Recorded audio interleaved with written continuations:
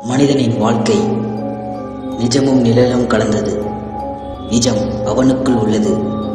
நிழல் அவ்வப்போது வருவது. நிழல் நிழலாக இருப்பது நல்லது. நிழல் நிஜமாக மாறினால் மனிதனின் முகத்திரையும் மாறும்.